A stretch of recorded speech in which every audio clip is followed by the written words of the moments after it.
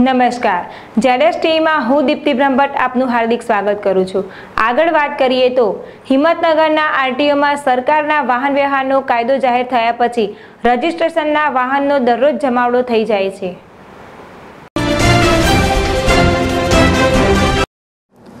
હિંમતનગર આરટીઓમાં સરકારના વાહન વ્યવહારનો કાયદો જાહેર થયા પછી રજિસ્ટ્રેશનના વાહનોનો દરરોજ જમાવડો થઈ જાય છે. વાહન અને ટ્રાફિકના ભંગના દંડમાં તોતિંગ વધારાનો કાયદો લાગુ પડતા અરજદારોની સંખ્યા ખૂબ જ વધી જતા સ્ટાફની હાલત કફોડી બની ગઈ છે.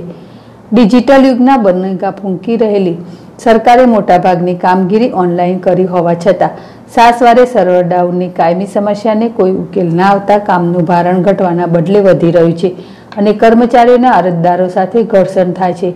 ભારણ વધુ હોવાના કારણે RTO in-charge S R Patel તેમજ અન્ય કર્મચારીઓ સાંજે સાતથી સાડા સાત સુધી રોકાઈને કામ કરી રહ્યા છે.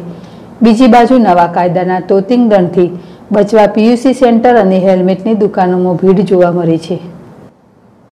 સૈયદ સોએબ જેડેશ ટીવી, હિંમતનગર.